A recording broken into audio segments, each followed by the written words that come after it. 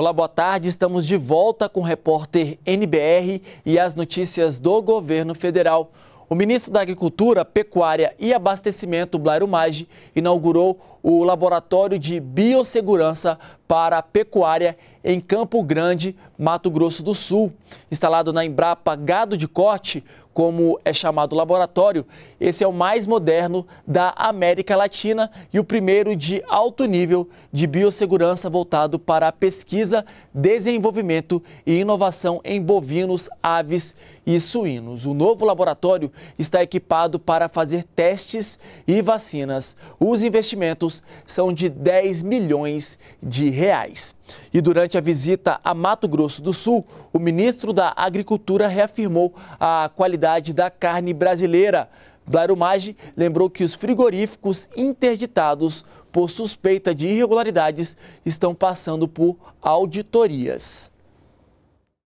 Nós temos as 21 plantas que já foram mandados fiscais, recolhemos produtos de todas elas que estavam na, nos mercados em 22 estados da Federação Brasileira nós encontramos esses produtos. Já tivemos 12 laudos sem nenhum problema. Os outros estão na, nos laboratórios do Ministério da Agricultura. E assim que tiver, nós vamos comunicar. A, a, a, o Ministério da Agricultura vai ser o mais transparente possível. Quer dizer, o mais possível é tudo que pode ser. E nós vamos informando a cada passo que as coisas vão acontecendo. O governo federal decidiu reduzir os juros cobrados nos empréstimos consignados para servidores públicos e aposentados e pensionistas do INSS. Essa redução se deve à queda da taxa básica de juros da economia, que tem caído nos últimos meses. Segundo o governo, essa é a primeira redução desde a criação do teto de juros em 2008. O percentual caiu de 2,34% para 2,14% ao mês. A medida vai permitir, por exemplo, a migração de dívidas mais caras, como as de cartões de crédito, para uma modalidade mais barata. E novas regras também para o cartão de crédito. A partir de abril, o consumidor não vai poder ficar no rotativo, chamado pagamento mínimo, por mais de 30 dias. A ideia é diminuir as taxas e os custos desse meio de pagamento e o consumidor pode economizar até 70%. Você já gastou demais no cartão de crédito e no final do mês não teve dinheiro para pagar a fatura integral e optou por fazer só o pagamento mínimo? Sim. Porque ali, na verdade, eu estava pagando só o juro. Por algum motivo de, de eu também não ter dinheiro, né? Eu deixei de pagar e foi muito juro. Para nunca mais. É melhor você ir lá e quitar a conta com o cartão de vez e pagar tudo, no caso. E não mexer com esse negócio de valor mínimo, isso não existe, minha filha. Eu paguei um, um, um mínimo, depois eu, tive, aí eu esperei entrar um dinheirinho para poder pagar o restante, né? Aí não saiu, não entrou, aí eu tive que pegar um dinheiro emprestado para quitar a conta.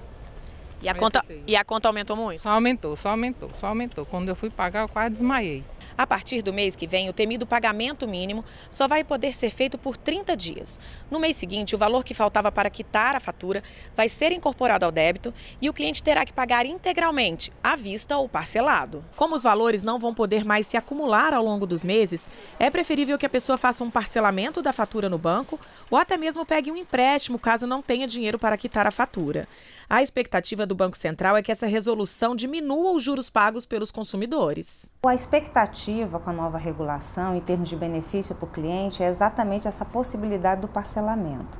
Todo crédito parcelado, ele implica em menor risco, e, em geral, ele tem uma taxa de juros mais baixa. O economista Roberto Piscitelli alerta que é preciso saber negociar com os bancos na hora de escolher como quitar a fatura para não entrar em outra dívida. Se ele tiver a possibilidade de obter crédito consignado junto ao órgão, entidade em que trabalha, isso, essa seria a melhor solução. É o juro mais baixo né, entre as modalidades que estão normalmente disponíveis no mercado. Você conhece homeopatia, acupuntura, musicoterapia, meditação ou reiki? Pois é, essas são terapias alternativas que estão sendo oferecidas pelo Sistema Único de Saúde, o SUS. Agora, são 19 procedimentos com o objetivo de potencializar o resultado dos tratamentos convencionais e, mais ainda, melhorar a qualidade de vida dos pacientes.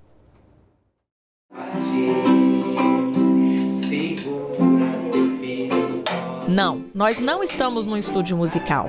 Essa é a sala de musicoterapia do Hospital da Criança de Brasília.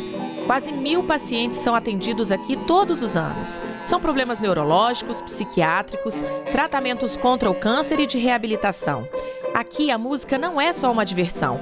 Ela ajuda cada criança a se conhecer melhor e a estimula a contribuir com o sucesso do tratamento. No hospital ele está é, submerso assim num mundo de de exames. E quando ele vai para o lado subjetivo e ele adentra e descobre seus próprios potenciais, aqui na musicoterapia a gente vê muito isso acontecer é, fortalece, parece que dá o empoderamento ao paciente até para lidar com a situação difícil que ele está passando. Rian tem oito anos e faz quimioterapia aqui no Hospital da Criança para tratar uma leucemia que descobriu em agosto do ano passado. De todos os remédios que ele precisa tomar aqui, a música é o único que ele recebe sem fazer careta. Quando eu canto, toco um instrumento, eu esqueço de tudo.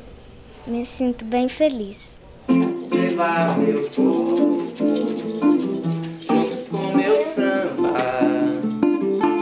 A musicoterapia é apenas um dos tratamentos ditos alternativos que estão sendo ofertados pelo Sistema Único de Saúde, o SUS.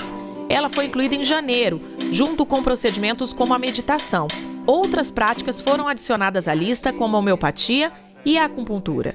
A ideia do governo é melhorar o tratamento das pessoas e até prevenir algumas doenças. As práticas integrativas têm como finalidade muito prevenção, promoção e prevenção de saúde, o que é fundamental porque elimina outros gastos de internação, de agravamento de casos e serve também como terapia de recuperação, de reabilitação. Não é sobre chegar no topo do mundo e saber que vencer. Ah, e quem pensa que o tratamento com a música ajuda só os pacientes está muito enganado. Eu passo 10 horas dentro do hospital e eu saio melhor do que eu entrei. Não é um trabalho que me cansa, é um trabalho que me, me dá energia. Trabalhar com a música dentro de um hospital não é só é, uma. Eu não estou doando algo apenas. A música é um elemento intermediador entre eu e o paciente. E o crescimento é de ambos os lados.